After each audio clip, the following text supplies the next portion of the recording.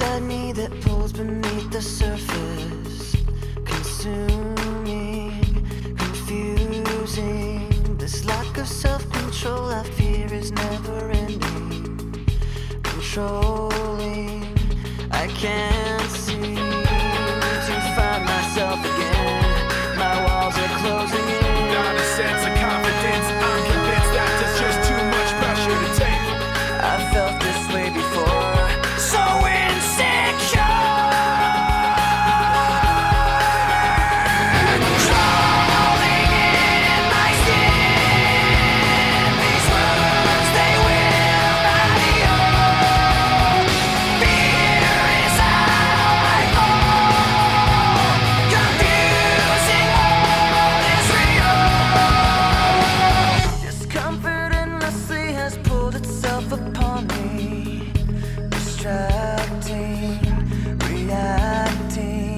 Against my will. I stand beside my own reflection.